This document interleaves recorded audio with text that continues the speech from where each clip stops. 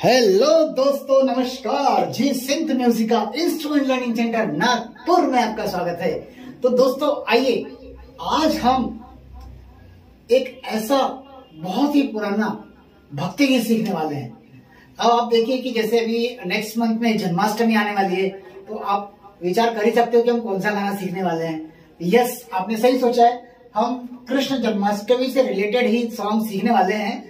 और काफ़ी लोगों की मुझे अभी से रिक्वेस्ट आने लगी है कि सर, जन्माष्टमी आ रही है तो आप कुछ ऐसा सिखाइए कृष्ण जी का।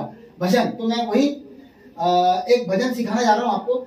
बड़ा नट खट है रे, कृष्ण कन्हैया। ठीक है? ये फ़िल्म का नाम है अमर प्रेम, और लता मंगेशकर जी ने इसे गाया हुआ है। और दोस्तों, ये बहुत ज़्यादा डिफ़िकल्ट नहीं है। आप इसमें देख रहे होंगे कि आपको सिर्फ़ यहाँ पर ना कोमल नी दिख रहा है, बाकी कुछ भी नहीं है। तो इसका मतलब ये होगा कि ये जो राग थाट बोल सकते हैं। खमाज थाट होता है जिसमें कि सारे गामा ध और नी नी सिर्फ़ कोमल होता है। ठीक है तो आपको खमाज थाट या ऐसे जो दस थाट होते हैं, उनकी यदि इंफॉर्मेशन चाहिए होगी तो आप मेरे यूट्यूब पर से ले सकते हैं इंफॉर्मेशन और इसको यदि डीप स्टडी करनी होगी तो आप मुझसे डायरेक्ट भी जुड़ सकते हैं। मैं आपको सारी जानकारी बराबर दूँगा और सब कुछ सिखा सकता हूँ मैं आपको। तो देखिए, ये दादरा ताल पर आधारित सॉन्ग है और खमाश थाट। अब टोटली खमाश थाट नहीं बोल सकते, लेकिन फिर भी मैक्सिमम इस पर ही आधारित है खमाज थाट या खमाज राग बोल सकते हैं इसको। और यहाँ पर देखिए, मैंने कहीं कहीं जगह पे देखना, ये ऐसा ऊपर से ऐसा एरो दिया हुआ है। इसको हम बोलेंगे मीड ठीक है? और नीचे से ये दिया हुआ है इस तरह तो इसको हम बोलेंगे, इसको थोड़ा सा फास्ट बजाना है। तो दोस्तों, इस वक्त मेरे पास में सी स्केल की फ्लूट है। अब आपको एक चीज़ मैं पहले ही बता देना चाहता हूँ कि बहुत सारे दोस्त ऐसे मेरे जो वीडियो देखते नहीं है और सीधे बोलते हैं कि कमेंट में कि, सर, आपकी फ्लूट कौन सी है? कौन सी फ्लूट यूज़ कर रहे हो? तो जब आप पूरा वीडियो देखेंगे, तभी आपको समझ में आएगा ना कि मैं आपको कौन सी फ्लूट है, ये ज़रूर बताता हूँ। हर वीडियो में दूसरी चीज़ ये बताता हूँ कि मैं यहाँ से हट जाता हूँ आपके सामने से। और आपको बोलता हूँ कि देखिए, इसे पॉज कीजिए और चेक कर लीजिए। तो दूसरे मेरे बहुत सारे दोस्त ऐसे बोलते हैं कि, सर, आप बीच में खड़े रहते हैं, हटते नहीं है। लेकिन जब वो वीडियो पूरा देखेंगे ना तो उनको समझ में आएगा कि मैं हट भी जाता हूँ और आपको पूरा पूरा मौका देता हूँ इस ढंग से कि इसको सेव कर ले या इसको लिख ले। और मेरी आपसे रिक्वेस्ट यही है कि आपको क्या करना है ना, कि इसे नोट करना है कॉपी में। और मैं जो फ्लूट यूज़ कर रहा हूँ सी स्केल की उसको लेकर के मेरे साथ बैठ जाना है, क्योंकि आपकी फ्रीक्वेंसी और मेरी फ्रीक्वेंसी सी स्केल की बराबर होगी, तभी आपको सॉन्ग बहुत जल्दी आएगा, है ना? तो आप क्या कीजिए, इसे नोट कर लीजिए और मेरे साथ बैठ जाइए। आपको मैं 10 मिनट के अंदर बड़ा नटखट सिखा देता हूँ, बहुत आसान है। आइए, शुरू करते हैं इसको। तो मैं चाहता हूँ कि पहले बहुत सारे दोस्त मेरे ऐसे भी है कि जो बोलते हैं कि, सर, हम सीखना नहीं चाहते, आपका सुनना चाहते हैं। तो मैं उनको थोड़ा थोड़ा सुना भी देता हूँ। तो लीजिए, सुन लेते हैं और फिर उसको ही सीखते हैं।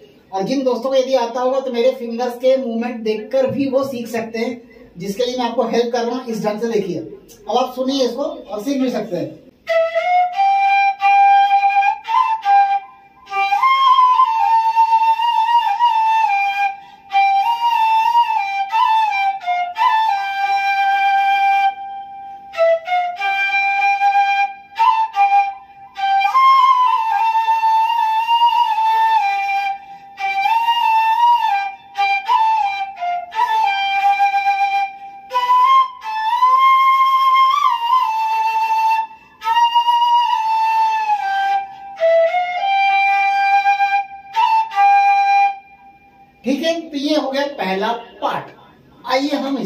सीखना शुरू करते हैं।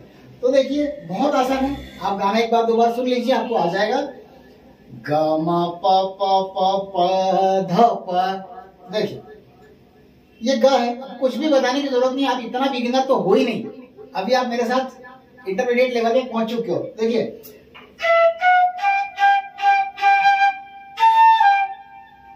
असानी ध, धनी धनी ध, प।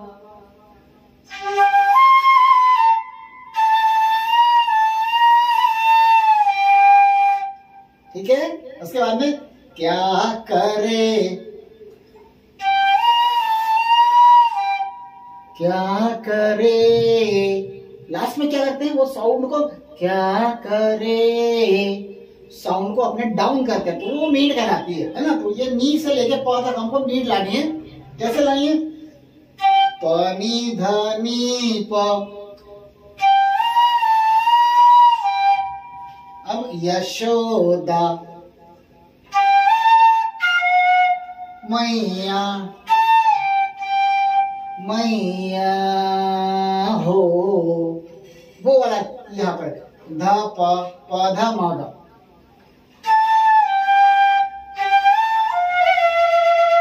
फिर उसके बाद इसको लाइन को हमको फिर से रिपीट करना है। एक बार रिपीट करेंगे, फिर आ जाएगा।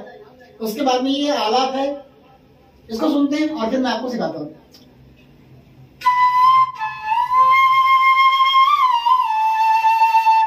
मैया रे ओ, ओ, फिर से यहाँ से जाएगा कैसे? निशा धसा।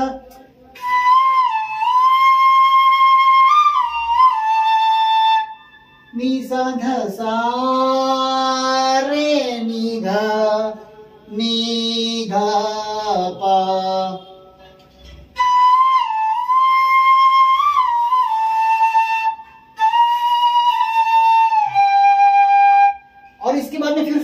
से कर देना है बड़ा नट खट है। आपको ऐसा ये देखिए प्लेलिस्ट दिख रही है आपको ये? ये प्लेलिस्ट को आपको क्लिक करना है। और उसके बाद में दोस्तों आपको यहाँ पर इस ढंग से ये अरिजीत सिंह माई स्टूडेंट के परफॉर्मेंस स्ट्रेट फ्लूट जितने भी मेरे सब चैनल पे आ, मैंने बना के रखी है प्लेलिस्ट अलग अलग वो आपको सब चेक करनी है। ये सब आपके काम की बहुत सारी लिस्ट है यहाँ पर। तो ये मेरे वीडियो को आप आखिरी तक जब देखेंगे ना तो बहुत सारी ऐसी मैं आपको नई नई चीज़ें बताऊँगा। कुछ लेसन इसमें बिगिनर के लिए हैं, है ना? कुछ लेसन इसमें कीबोर्ड के भी हैं, मैं दूसरी चीज़ें भी सिखाता हूँ कीबोर्ड भी सिखाता हूँ, है ना? तो ये सारी प्लेलिस्ट यहाँ पर आपको मिल जाएँगे ऐसी। तो आपको कहाँ जाना है? इस वाली प्लेलिस्ट में। ये वाली प्लेलिस्ट में जब आप आएँगे तो आपको सब चीज़ें दिखेंगी। कभी कभी मैं ये कम्युनिटी पोस्ट में भी बहुत सारी चीज़ें डालता हूँ तो वहाँ पर भी आपको चीज़ें दिखा करेंगी। मतलब आपको समझ में आना चाहिए कि हम यूट्यूब चैनल को किस ढंग से अच्छे से सर्च करें। ठीक है दोस्तों? तो ये लीजिए आ गए हम अपनी चीज़ों पे वापस, अब हमको सीखना है इसका अंतरा। तो अब आएँगे, अब हम सीखते हैं इसका अंतरा। तो अंतरा देखिए कैसा है। ढूंढेरी अखिया। ये जो आन, ये मीन है मतलब क्या होता है, सुर हमारा ऐसा करके डाउन जाता है। तो इसको मैं सुना देता हूँ अभी इसको सुन लेंगे, फिर आपको मज़ा आएगा सीखने में।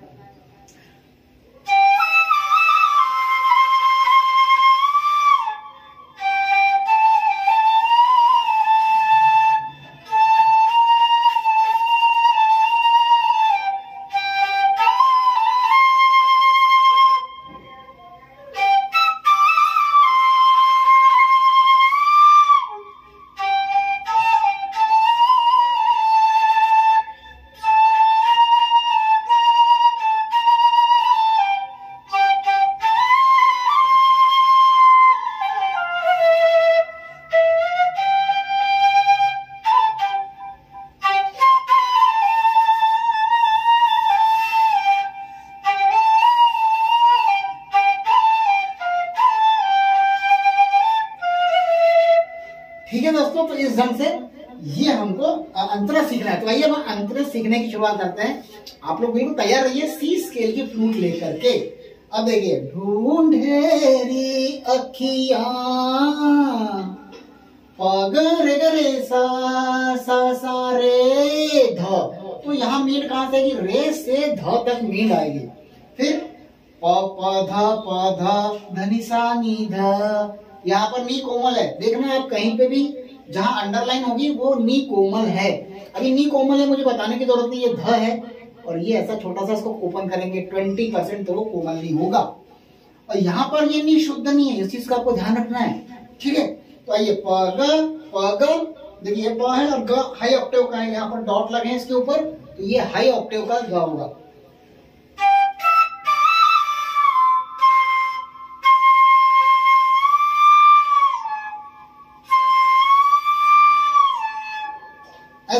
सारे धा फिर सही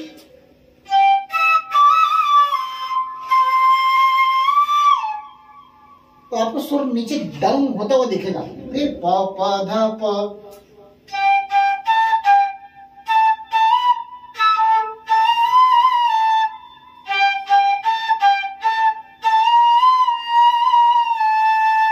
पा ना ये? पा धा धनी सा नी उसके बाद में, जाने कहा छुप गया? धनी नी धनी धनी ध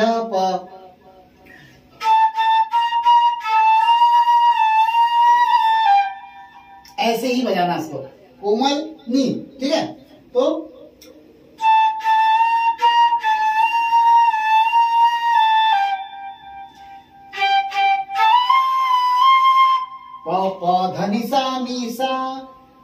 यहाँ पर नहीं, एकदम शुद्ध है। मतलब पूरा ओपन करके बजाना है। ठीक है? उसके बाद में इस दो लाइन को फिर से बजाना है पूरा। और उसके बाद में ये बजाने के बाद लास्ट में हमको प, म, ग बजाना है। तो हमारा साउंड नीचे आएगा। कैसे आएगा? ध्यान देखिए एक बार, ध्यान से।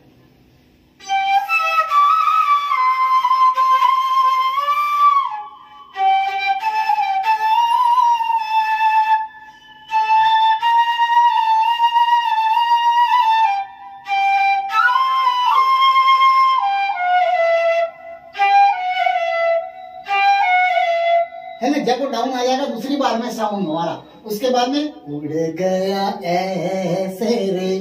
तो ये फिर हमारा ये ऊपर से आ जाता है, लेकिन इसको अलग से करते हैं।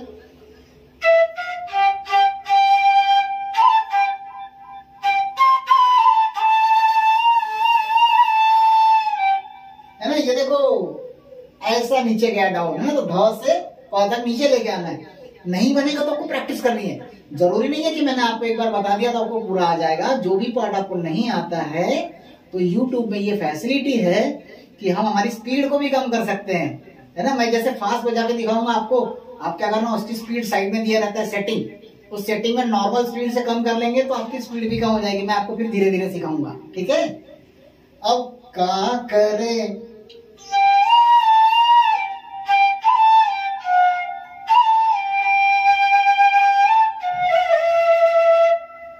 ठीक है? तो एक चीज़ मैं आपको एक और बताना चाहूँगा कि बहुत सारे लोग मुझे बहुत सारे रिक्वेस्ट भेजते हैं। कुछ तो ऐसे लोग होते हैं जो मुझे इंग्लिश के सॉन्ग भी भेजते हैं। लेकिन इंग्लिश के सॉन्ग में जो होते है ना, उतनी ज़्यादा मेलोडी नहीं होती है। वो पियानो वगैरह में बहुत अच्छे लगते हैं इंग्लिश के सॉन्ग जो होते हैं ना। तो हम उनको पियानो में सिखा देंगे मैं आपको पियानो भी सिखाने वाला हूँ। मैंने पिछले वीडियो में आपको बताया है कि आपको पियानो भी सीखना ज़रूरी है फ्लूट के लिए। तो उसको भी आप थोड़ा सा ध्यान दीजिए, खरीद लीजिए आप पियानो और छोटा सा भी खरीद सकते हैं और सीख सकते हैं। तो दोस्तों, ये नोट कीजिए, इसको सीखिए और मुझे बताइए कि आपको कैसा लगा। और कृष्ण जी से रिलेटेड कृष्ण जन्माष्टमी के अवसर पर आपको जो कुछ और भी सीखना हो तो मुझे रिक्वेस्ट करके स्पेशली कृष्ण जी के सॉन्ग बताइए। मैं कोशिश करूँगा आपको सिखाऊं। और जय कृष्णा, राधे राधे, जय श्री कृष्णा। धन्यवाद।